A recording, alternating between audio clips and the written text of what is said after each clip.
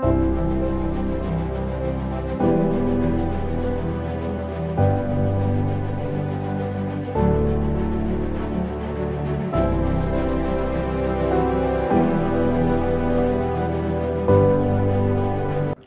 الله الرحمن الرحيم. امتثالا لأوامر المرجعية الدينية العليا المتمثلة بسماحة المرجع الديني الأعلى سماحة السيد علي الحسين السيستاني دام ظله بتوجيه مباشر من قبل سماحة المتولي شرع العتبة الحسينية المقدسة سماحة الشيخ عبد المهدي الكربلائي دام عزة.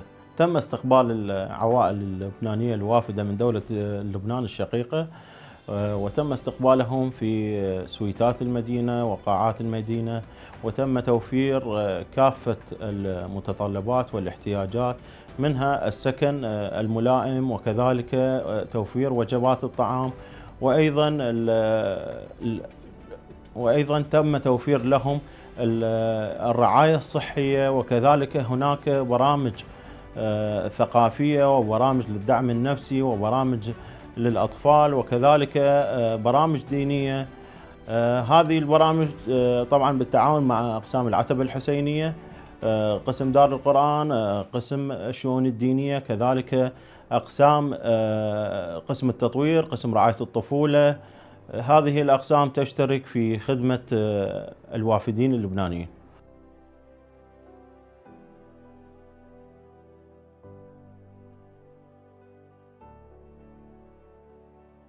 نحن خرجنا من لبنان من حوالي شهر ونصف تقريبا. طلعنا طبعا الأوضاع الأمنية هي التي أجبرتنا على الخروج لأنه لم يعد هناك أمان في أي مكان. طبعا الأمان في الله ولكن مجرد أن يكون الإنسان في مكان في حرب معه أولاد معه عنده مسؤوليات معينة سوف يكون وليس له طبعا دور مباشر في هذه الحرب. فلا بأس بأن يكون في مكان أكثر أمنا وكان الخيار الأفضل هو الذهاب إلى عراق الحسين عليه السلام. دائما نرى هذه الوجوه الطيبة نرى هذا الاستقبال الحافل وهذا الاهتمام من الإخوة العراقيين ومن العتبات من العتبة الحسينية المقدسة تحديدا نحن الآن في ضيافتها. فعلا كان يعني أمر يثلج القلب.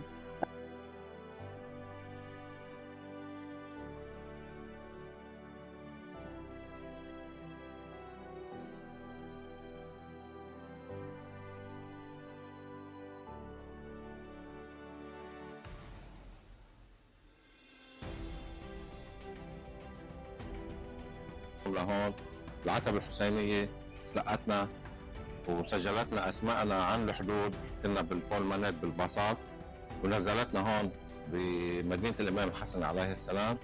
وأمنت لنا سويت أنا والعائلة كنا نحن ست أشخاص. والحمد لله من تاريخ ما وصلنا لهون ما في عنا أي مشكلة لا بل كانت التقديمات كثير قوية وتقديمات كثير سخية من ناحية التعامل الناس. تعامل الموظفين آه معنا بكل أدب وبكل احترام آه هن الشباب كلهم مربيين تربية وحدة آه إنه يحترموا الشخص المستضيفينه من ناحية الطعام كل شيء مرتب وكل شيء منظم منيح والله يعطيهم الصحة والعافية. ونحن بنشكر العتبة الحسينية بنشكر الشيخ عبد المهدي كربلائي إنه استضافنا هون بمدينة الإمام الحسين مدينة الإمام الحسن عليه السلام.